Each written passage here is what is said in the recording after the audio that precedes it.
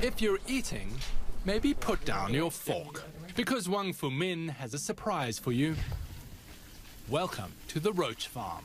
That's right, cockroaches. So inside here is where they breed the cockroaches. You can just hear them in here and they stink of ammonia. And Wang says that in these rooms there are nearly a million cockroaches. And it is literally the stuff of nightmares. I feel close to them, Wang tells me. Just smell that unique smell they have. Ooh, you can smell it, huh? Unbelievably, this crop of American cockroaches brings in serious cash for Wang. He's the roach kingpin in a growing market in China.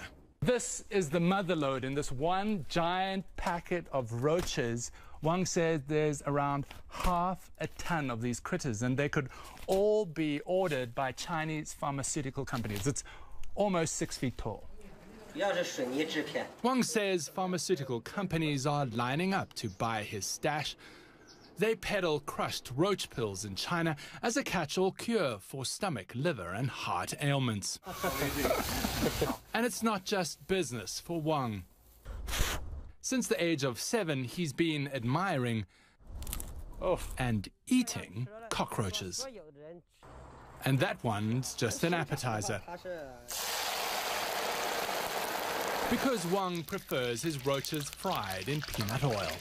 I have to say, they look worse than when they went in. He wants to push it as a protein snack. It hasn't quite caught on yet. So it tastes like peanut oil,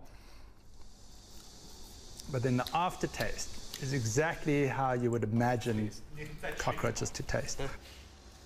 If you don't try it, you will regret your decision forever, says Wang. David McKenzie, CNN, Jinan, China.